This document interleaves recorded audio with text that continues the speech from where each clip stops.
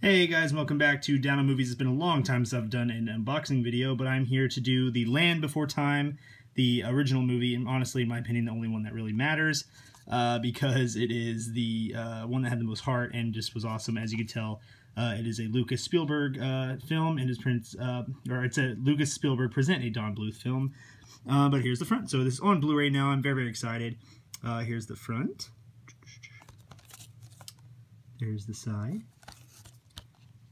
There's the back. The adventure that started it all. And I know they're getting ready to come out with a new one. I think that comes out either this year or next year. Um, so it'll be interesting to see what they do with it. So that'll be cool.